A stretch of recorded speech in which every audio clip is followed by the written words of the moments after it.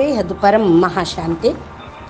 బేహద్కే బేహద్ పరం పరం మహానాత్మలకు జాగృతమైన దివ్య ఆత్మలకు విశేషమైన పురుషార్థం చేస్తున్న శ్రేష్ఠాత్మలకు ఆత్మిక పరివారం నాకు బాపూజీ దశరథభాయ్ పటేల్ తెలుగు ఛానల్కు స్వాగతం. మనం ఈరోజు ఎనిమిది వందల ముప్పై లైవ్ ఎపిసోడ్లో నేను పరం శక్తి స్వరూపమైన బేహదాత్మను అని మనం పురుషార్థం చేస్తూ ఉన్నాము. ఇప్పుడు దసరా నవరాత్రులు స్టార్ట్ అయినాయి. దీని యొక్క విశేషత శక్తి స్వరూపిణి ఈ బ్రహ్మాండం యొక్క మహాశక్తి గెలాక్సీల్లో ఉన్నటువంటి మహాశక్తులు ఎలా ఈ బ్రహ్మాండాలను అనంత కోటి బ్రహ్మాండాలను నడిపిస్తూ ఉన్నాయో అనేది తెలుసుకోవాలి అంటే ముందు శక్తి స్వరూపిణి యొక్క విశేషత మనం తెలుసుకోవాలి. బాపూజీ దీని గురించి చాలా వీడియోలు ఇచ్చారు. చాలా సందేశం చెప్పారు కూడా. ఈరోజు భక్తి మార్గంలో ఏ విధంగా మరి నవరాత్రులు చేస్తుంటే అష్ట దుర్గల యొక్క అవతారాలుగా రోజుకొక అలంకారాలను వేస్తూ ఉంటారు. వాటి యొక్క విశేషతలు గురించి ఈరోజు మనం తెలుసుకుందాం. నవరాత్రి ఉత్సవాలు. దేవి దేవీ దేవతలకు కాకుండా కేవలం దేవీలకు శక్తులకు మాత్రమే విశేషించి పూజలు జరుగుతూ ఉంటాయి. ఇది ఆధ్యాత్మిక శక్తులు వీటి గురించి మనం వివరంగా అర్థం చేసుకుందాం. తంత్ర శాస్త్రంలో యొక్క ఆధారంగా శివుడి యొక్క ఆజ్ఞ అనుసారంగా మరి శివుడు శక్తిగా డివైడ్ అయ్యారు. ఇది ఒక జడతత్వంగాను రెండోది చైతన్య తత్వంగాను ఉంటూ ఉంటుంది. సంపూర్ణ బ్రహ్మాండం యొక్క మూలంలో ఈ రెండు కూడా పరమతత్వాలు కలిగినవి. దీని యొక్క సంయోగంతో చరాచర జగత్తు సృష్టి మొత్తం నడుస్తుంది. శివ్ అంటే పరం లైట్ పరం పురుష్ పరం ప్రకాశ స్వరూపము. శక్తి అంటే తత్వము. అనగా మహత్తత్వము పరం తత్వముతో ఉన్నటువంటి స్వరూపము శక్తి అన్నమాట. ఈ ఇద్దరి యొక్క సంయోగంతో చరాచర సృష్టి మొత్తం కూడా నడుస్తూ ఉంది. ప్రారంభమైంది రచన వీరి ద్వారానే జరిగింది. కానీ ఇది తెలుసుకోవటం కూడా మరి అందరికీ అవసరమే కదా. మూల శక్తి ఏదైతే ఆదిశక్తి అని అంటూ ఉంటారో ఆదిశక్తి అంటే శివుడు యొక్క రచయిత మహాశివుడు. మహాశివుడు మహాశక్తి. దీ ఈమెనే ఆదిశక్తి అనుకుంటారు. ఈ యొక్క మహాశక్తిని మహాశివుణ్ణి పరం మహాశక్తి పరం మహాశివుడు ద్వారా రచన జరిగింది. ఇలాగ పరంపర మనకు తెలిసినదే. బేహద్ జ్ఞానంలో బాపూజీ చెప్తారు. ఇంకా ఆదిశక్తి అనగా పరమాత్మని యొక్క శక్తే అని చెప్తూ ఉంటారు. ఇక్కడ స్త్రీ పురుష అన్న భావం కాదు. పరం శక్తి పరమాత్మని యొక్క శక్తి నిరాకారంగా అవ్యక్తంగా లైట్ మైట్ అంటే శివుడు శక్తి కంబైండ్ స్వరూపంగా ఉన్నట్టు ఆది మూల బీజము అలా ఉంటుంది. అందుకని తంత్ర విద్యలో దీన్ని పరమా అని అంటూ ఉంటారు. ఈ యొక్క పరం అనుభూతి ఈ యోగ యోగులు ఎక్కువగా సమాధి స్థితిలో ఈ యొక్క శక్తిని పొందుతూ ఉంటారు ఈ స్థితిని సాధిస్తూ ఉంటూ ఉంటారు. అందుకే దీన్ని యోగమాయ అనుకు అంటం కూడా పరిపాటి. పర ప్లస్ అపరాశక్తి అన్నమాట. శాస్త్రాల్లో పండితులు చెప్పిన కథనం అనుసారంగా పరం శక్తి యొక్క వ్యక్త స్వరూపము పరాశక్తి యొక్క సంజ్ఞ అనేది కూడా ఉంటుంది. పరాశక్తి మహామాయ. దీనికి గుణం యొక్క ఆధారంతో మూడు రూపాలు ఉన్నాయి. బ్రహ్మ రూపము విష్ణు రూపము మరియు రౌద్ర రూపము. ఫస్ట్ బ్రహ్మ రూపము సతోగుణము. మరి రెండవదైన వైష్ణవ రూపం రజోగుణము. మూడవ రూపమైన బ్రహ్మ రౌద్ర రూపము తమో గుణము బ్రహ్మది సతో ప్రధానం అన్నమాట. విష్ణువుది రజో ప్రధానం మరి రౌద్ర రూపం తమో ప్రధానం ఈ మూడు గుణాలకు ప్రతీకగా మూడు రూపాలను పర పర పర మరియు అపర అని అంటూ ఉంటారు. ఈ మూడు బ్రహ్మ విష్ణు మహేశ్వరులకు పర పర పర అంటే వాటికి పైన ఉన్నటువంటి శివుడు నిరాకారుణ్ణి అపరాశక్తి అని అనవచ్చు. శివుడు శక్తి అన్నమాట. పరాశక్తి మహామాయ యొక్క గుణాలు మీ త్రిగుణాలకు కూడా అతీతంగా ఉండవచ్చు. ఈ రూపంలో మూడు రూపాల్లో ఆమె యొక్క శక్తి వ్యాపించి ఉంటుంది. దీన్ని ప్రకృతి శక్తి అని కూడా అంటూ ఉంటారు. ప్రకృతి అంటే మా. ప్రకృతి త్రిగుణాత్మకంగా ఉంటుంది కదా.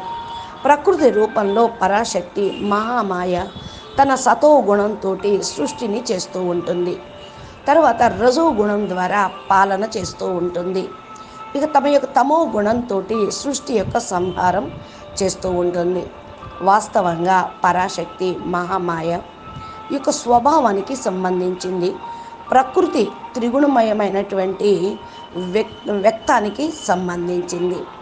తంత్రం యొక్క సగుణోపాసన భూమిపైన ఆచార్యులు కొందరు వీటిని మహాసరస్వతిగాను మహాలక్ష్మిగాను మహాకాళీగాను ఓ రూపాలను సంకేతకంగా ఇచ్చారు. మాయ యొక్క శబ్దానికి సంబోధితమైనది. ఇక్కడ శాస్త్రాల కథనం అనుసారంగా మహామాయ పరాశక్తి బ్రహ్మ యొక్క బ్రహ్మీ రూపము బ్రహ్మ యొక్క బ్రహ్మీ రూపము ఆమెనే సత్వగుణి మహాసరస్వతి అని అనవచ్చు. ఇంకా వైష్ణవ రూపంలో రజోగుణి మహాలక్ష్మి. రౌద్ర రూపంలో తమోగుణి మహాకాళి. మానవ శరీరం అందుకనే మహత్వపూర్ణమైనది. ప్రకృతి తోటి పంచతత్వాలతోటి తయారైన ఈ శరీరం. మరి పంచతత్వాలను నడిపించే పాలించే లయం చేసేటువంటి శక్తులు ఉన్నట్టే మానవుడి యొక్క శరీరంలో కూడా ఉంటాయి. అందుకనే మానవుడి యొక్క శరీరం మహత్వపూర్ణమైనది. దానిలో ప్రకృతి మూడు యొక్క గుణాలు ఉంటూ ఉంటాయి. ముగ్గురు యొక్క స్వభావాలు ఉంటాయి. మూడు రూపాల్లోనూ ఫలస్వరూపంగా బ్రహ్మాండంలో ఉంటూ ఉంటాయి. ఈ శక్తులు క్రియాశీలమైనవి. ఇవన్నీ కూడా ఏదో ఒక రూపంలో మానవ శరీరంలో విద్యమానై ఉంటూ ఉంటాయి. ఈ కారణం వలనే పరబ్రహ్మ పరమేశ్వరుడి కూడా మానవ శరీరం యొక్క ఆశ్రయం తీసుకొని భగవంతుడైన భగవాన్ రాముడు కృష్ణుడు మొదలైన రూపాల్లో తన యొక్క సర్వశ్రేష్ఠ లీలలను ఈ ప్రపంచంలో ప్రకటితం చేస్తూ ఉంటారు. శక్తి యొక్క ప్రముఖ రూపము శక్తుల యొక్క రెండు రూపాలు సమిష్టిగా ఉంటూ ఉంటాయి ఒకటి వెస్టిగా ఉంటూ ఉంటాయి. సమిష్టి రూపము బ్రహ్మాండీయ రూపము. వ్యక్తిగత వెష్టి రూపము పిండీయ రూపము. అంటే పిండంలో బ్రహ్మాండంలో ఉన్నదే పిండంలోనూ ఉన్నది అంటే శక్తుల యొక్క ఈ రెండు రూపాలే అన్నమాట.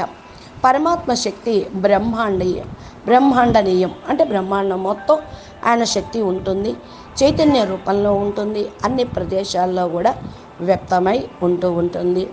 వ్యాప్తమైనటువంటి చరాచరణ సృష్టి ఆ యొక్క వ్యక్తి రూపంలో ఆత్మ ఉంటుంది. ఆత్మ యొక్క శక్తి మానవుడి యొక్క పిండం లోపల చైతన్య రూపంలో విద్యమానై ఉంటూ ఉంటుంది. ఇకపోతే సతోగుణి బ్రహ్మ యొక్క శక్తి మహాసరస్వతి పాండవ పిండంలో మానవ పిండంలో జ్ఞానం యొక్క దేవి దేవతా స్వరూపంలో ఉండదు అని కాదు. పిండంలోనూ శక్తి రూపము ఉంటుంది ప్రకృతి యొక్క రూపం కూడా ఉంటుంది. రజోగుణి వైష్ణవి శక్తి మానవ పిండంలో మహాలక్ష్మి మన మనోశక్తి గాను. తమోగుణి రౌద్ర శక్తి మానవుడి యొక్క పిండంలోనూ మహాకాళి ప్రాణశక్తిగా ఉంటూ ఉంటుంది. మనసు మరియు ప్రాణము ఈ వైదిక భాషలో వాక్కు మనో శక్తులు అంటే వాక్కు సరస్వతికి మనసు మరి లక్ష్మికి మళ్ళీ ప్రాణము అనేది ప్రాణశక్తి మహాకాళిది అని చెప్పబడుతూ ఉంటుంది. ఆధునిక విజ్ఞానం యొక్క భాషలో మైండ్ ఆఫ్ మ్యాటర్ అని అంటే పవర్ ఎనర్జీ ఫోర్స్ శక్తి పవర్ అంటూ ఉంటారు. మన శక్తి ఎనర్జీగాను ఈ విధంగా ప్రాణశక్తి ఫోర్సుగాను ఈ మూడు రూపాల్లో అభివ్యక్తమై ఉంటూ ఉంటాయి. జ్ఞానము మరియు క్రియ. మానవ పిండంలో ఆత్మశక్తిని చైతన్యం చేస్తూ ఉంటుంది. కేంద్ర హృదయము చేతన శక్తిగా సంసిద్ధమై ఉంటుంది. జ్ఞానశక్తి కేంద్రం నాభి మండలంలో ఉంటుంది. ఈ స్థానం పైన ఆలోచన వివేకము వైరాగ్యము జ్ఞానము మొదలైనవన్నీ కూడా జన్మ తీసుకుంటూ ఉంటాయి. అది దేవి దేవీ దేవతకు రూపాలు దేవి రూపాలు ఏంటి అంటే పురాణాల యొక్క కథనం ప్రకారం తంత్రచార్యులు తంత్రాచార్యులు ఈ దుర్గాదేవికి రెండు రూపాలను ఇస్తూ ఉంటారు. ఒకటి చతుర్భుజి రూపం రెండు అష్టభుజి రూపం. చతుర్భుజి దుర్గాదేవికి నాలుగు చేతులు ఉంటూ ఉంటాయి. అది శ్యామ దాణ దండ వేద్ ప్రతీకగా ఇవి ఈ అలంకారాలు ఉంటూ ఉంటాయి. నాలుగు దుర్గా వ్యవహారిక రూపంలో ఉంటూ దీని అనుసారంగా భుజాల్లో అస్త్రశస్త్రాలను చూపిస్తూ ఉంటారు. ఇంకా అష్టభుజధారి దుర్గకు దుర్గాదేవికి ఎనిమిది భుజాలను చూపిస్తూ ఉంటారు. నాలుగు భుజాలలో ఉన్న శ్యామ ధామ దండ భేదాలు ప్రతీకగా ఉన్నట్లే మిగతా నాలుగు ధర్మ అర్ధ కామ మోక్షానికి ప్రతీకగా నాలుగు చేతులు. ఇలాగా ఎనిమిది చేతులు ఉన్న అష్టభుజధారి దుర్గగా ఈమె ప్రతీకగా ఉంటూ ఉంటుంది. నలువైపులా మరి నాలుగు దుర్గా చే నాలుగు చేతులు ఉన్న దుర్గాదేవికి ఆధ్యాత్మిక స్వరూపం యొక్క పరిచయం ఉంటుంది. ఈ విధంగా పరమాత్మ శక్తి యోగమయంగా దుర్గాగా ప్రతిష్ఠించి ఉంటూ ఉంటుంది. ఈ రెండు రూపాల్లో లౌకికం మరియు పారలౌకిక సుఖ శాంతి కలిగించి కళ్యాణం చేయించేది భవముక్తిని కలిగించేదిగా ప్రసిద్ధి చెంది ఉంటుంది. కాలాంతరంలో దుర్గా సాధన ఈ భూమిపైన నవరూపాలలో విభక్తమై ఉన్నది. ఫస్ట్ ఇలా లేదన్నమాట. తర్వాత తర్వాత కాలాంతరాల్లో నవదుర్గల రూపంలో వీరిని విభజించటం జరిగింది. మరి దుర్గా సప్తశతి అంటూ ఉంటారు కదా మరి దుర్గా సప్తశతి అంటే తంత్రాచార్యుడి యొక్క దుర్గా వారి అనుసారంగా దుర్గాకు సంబంధించిన దుర్గాదేవికి సంబంధించిన స్తోత పటల్ పద్ధతి మరియు కవచం యొక్క రచన అనేది జరిగి ఉంది. వీరు కోరుకుంటే ఏ రూపాన్ని ఏదేనైనా రచించగలరు అని దీనిలో పరమాత్మ శక్తియే ఆశ్రయం ఉంటుంది అని మూడు శక్తులు మహాసరస్వతి మహాలక్ష్మి మరియు మహాకాళి యొక్క రూపంగా ఇమిడిపోయి ఉంటుంది. ఈ మూడు భాగాల్లో విభిన్నంగా ప్రథమ చరిత్ర మధ్యమ చరిత్ర ఆరు ఉత్తమ చరిత్ర రూపంలో వర్ణన ఉంటూ ఉంటుంది. ప్రథమ చరిత్రలో మహాకాళి మధ్యమ చరిత్రలో మహాలక్ష్మి ఉత్తమ చరిత్రలో మహాసరస్వతిగా వర్ణిస్తూ ఉంటారు. దుర్గా సప్తసతి అంటే ఏడు